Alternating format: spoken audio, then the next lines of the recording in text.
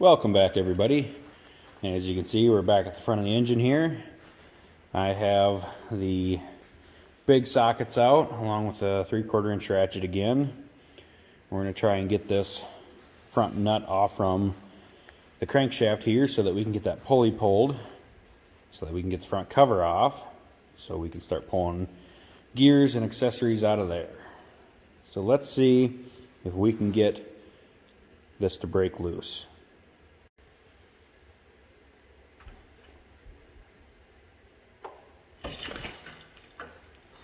Well, with the six foot cheater bar, we were able to get that broke loose. I am going to have to get a stand built here, especially before we start reassembling. I know the, the motor was rocking back and forth there.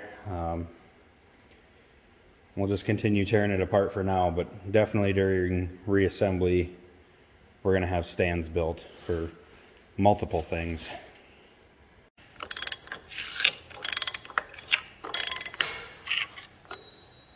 Over at the bench here, you can see that this is actually a two-piece deal.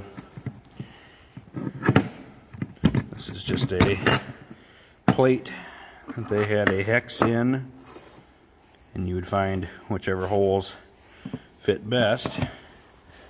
And then your nut here, looks like it's got slots in there for turning the engine over.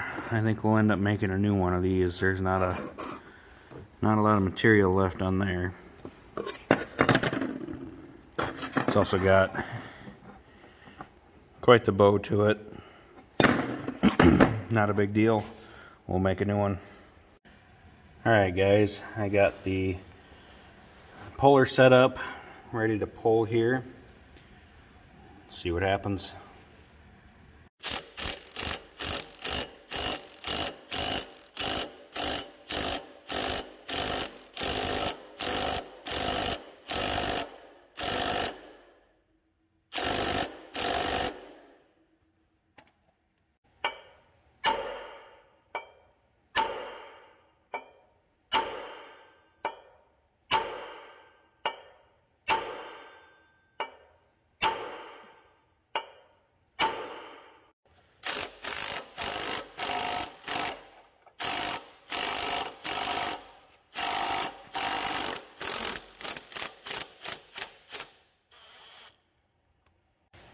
Well, it turns out that other smaller puller just didn't have enough in it.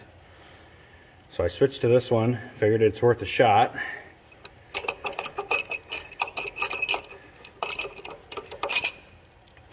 And there it is. With all that out of the way, you can see how the crank is threaded for that big end nut. And then it's also a tapered seat that that pulley sits on as well as a key. So once that is set on that taper and that nut is run down, them two other bolts that lock all that together keep this as a permanent fixture. I do need that key out of my way and it appears to be a Woodruff key.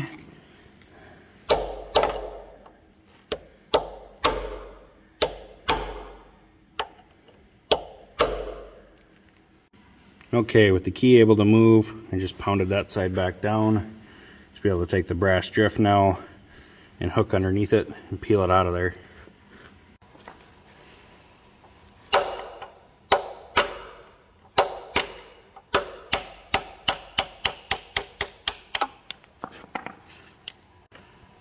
And there's the key. Looks to be in good condition. The whole point of removing the key was just to not tear up this seal as we come through with the front cover. The pulley out of the way, we should be able to start pulling perimeter bolts all the way around here.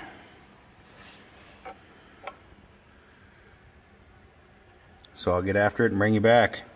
It's also worth noting we will have to pull four of the oil pan bolts to get this to slip out of here.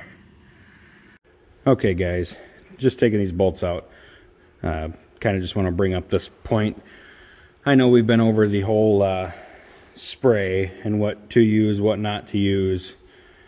I just want to prove just a small point.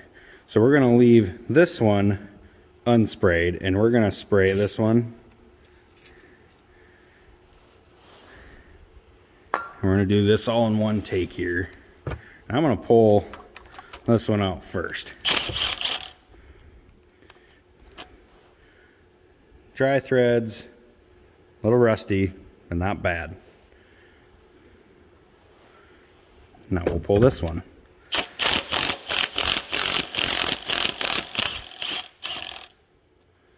Weird. Dry threads. The only time you'll convince me that it actually makes a difference would be on these bolts down here where you actually have a nut on the back side and that bolt has to travel through that nut and you can spray on this end of it before it goes through there. Kind of like we did on the track tensioners. Otherwise, all you're doing is wasting your time and making everything just a wet mess. Just to hammer this point home for good, hopefully. We'll spray that one. We'll take the top one off first.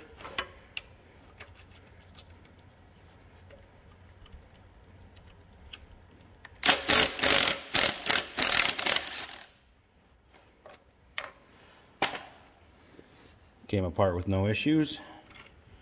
Bolt comes out if it would focus here. Bolt is dry.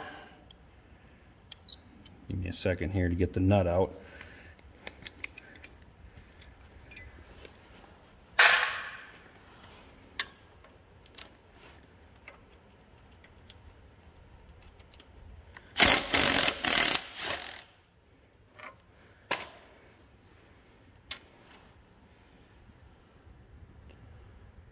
Bolt still looks pretty dry. The end is wet. It didn't even penetrate with a nut. That's my belief. I know everyone is entitled to do whatever they feel works best for them. I just don't see the need for it, especially on this project when all the bolts come loose well on their own without any sort of a lubricant. Like I said, I will use it here and there. I know on the track adjusting nuts, it was it wasn't even optional at that point. If you tried to jam all that rust through that nut, you'd have nothing but problems. But on just taking these little bolts out, I'm sorry, I don't see the need for it. Okay, here's for everyone that said everything's been coming out so smooth. This is the last bolt holding the front cover on. It is down low here, right to the left of the pulley. And the 9 16 spun on it. So I went to a 13 or 14 millimeter first, since that is just a hair smaller, I believe. And I pounded that one on there with a hammer. And that didn't work. It still spun. So I went to a 13 millimeter and that spun. So I went to a half inch since that is just slightly smaller and that spun. So since the bolt is shot, I am just gonna center punch it, drill the head out, get the front cover off, and then we will be able to extract the stud after everything else is past it.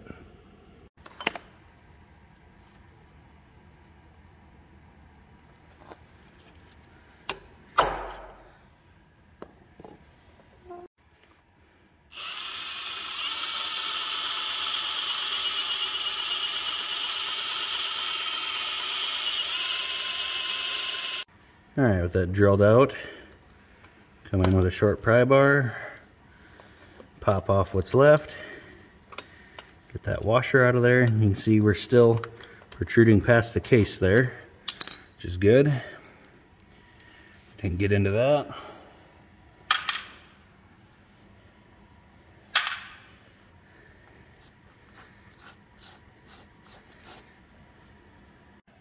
So all the bolts out now, except for that, what's left of that one down there. We should be able to start working this off of here. It actually did pop when I drilled through that head. I heard the front cover move forward. But I see there are a few dowels we'll have to worry about getting it off from. Shouldn't be too bad.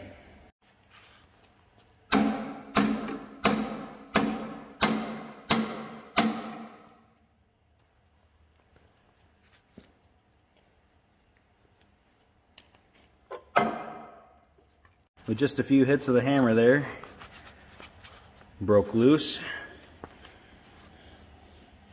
I'm gonna save this mouse nest for later. I can stay in there for now. I think we are ready to slide it the rest of the way off. And you guys will get to see what's behind it before I will.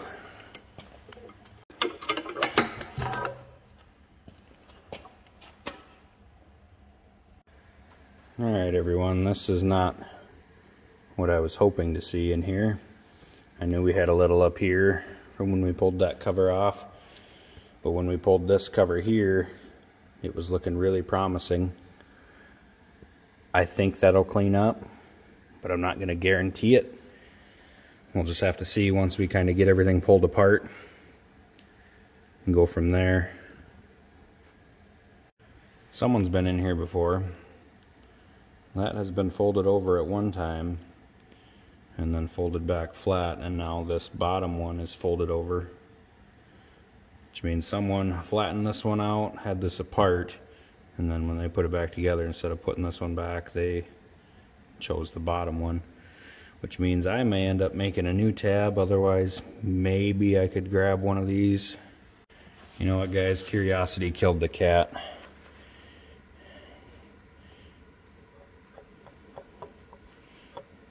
No need to be worried about timing. There's marks on everything here.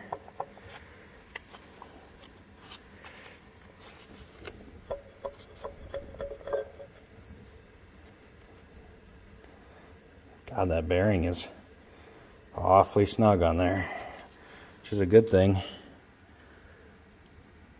Bearing looks excellent. Take you over to the bench here. Let's have a look at this gear. It surely does not look very good. I for sure see pitting right there on my fingernail. But I'm to run a wire wheel over this quick. Just kind of see how much of that cleans up. And I know we're not really getting into cleaning parts, but I do like to know what parts I need to be on the lookout for. And this one really has me questioning. I know we're still looking for undercarriage parts. We'll be looking for some other engine parts as well.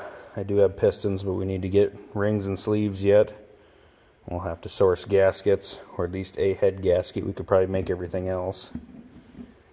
So, let's clean this up, see how it looks. Okay, I just spent about a minute or so just running that in between the teeth there. And the heavy stuff cleaned up, but there is a lot of pitting. You can really see it in that one, along with that one there. So I think I'm probably going to be on the lookout for a new idler. But if push comes to shove, I feel this would probably survive. Obviously, we'd have to clean it more thoroughly but I do think it would wear back in. I know I've run across some rear ends before, rear axles in cars and pickups that have sat and had rust on the ring gear. And if you run them down the road for 10, 20 miles, a lot of that pitting kind of gets worn back in. It's probably not the best practice, but you have to remember these parts are not available new anymore. So sometimes you have to work with what you have. And with that being said, this gear could be the same story.